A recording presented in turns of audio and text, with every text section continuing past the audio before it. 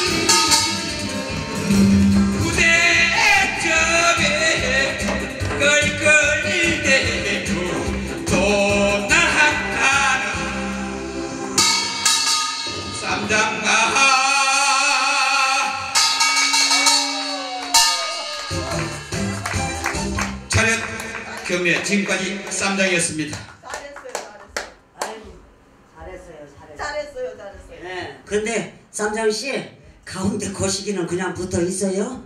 그렇게 뛰고 날고 예, 열정이 대단하십니다. 예, 정말로 날이 가면 갈수록 예, 우리 본창에 나가는 우리 쌈장 씨에게 박수 한번 크게 쳐주시기 바랍니다.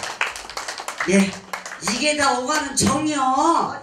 예, 박수가 예, 저희들한테는 많은 힘이 됩니다. 그러니까 저희들이 박수 좀 쳐주세요 하고 사정하는 거예요.